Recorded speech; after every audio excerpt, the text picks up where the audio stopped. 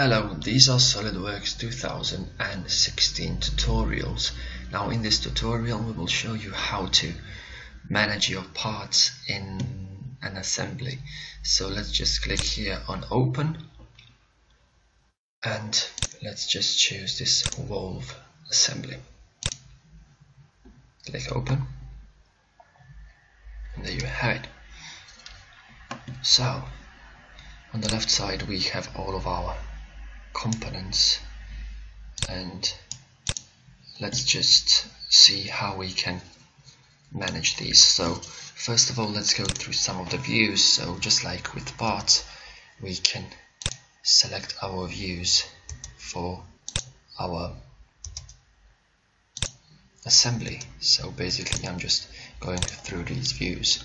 You can also use shortcuts on your keyboard so control 7 is this isometric view.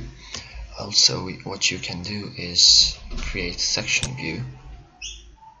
And the good thing with this is that you can select planes that are defined in your assembly, but also some planes that are defined in your parts.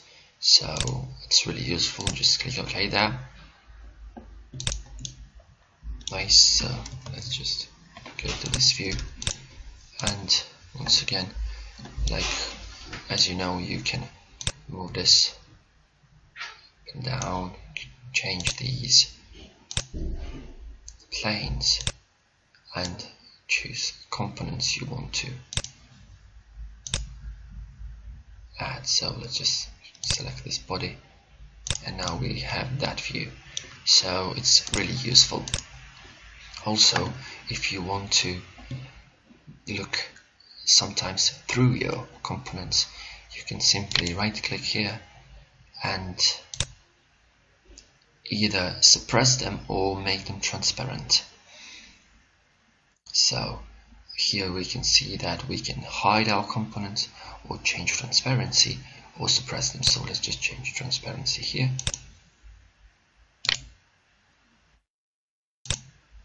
okay? So you see what happens when we do that on our body. And we can just expand this to see that this is transparent. Also we can hide it simply by right clicking there and click on hide component. So it kind of disappears. So these are all really useful.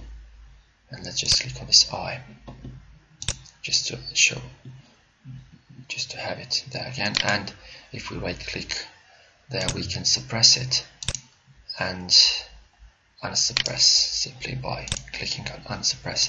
So these are some basic tools that you can use in order to manipulate with your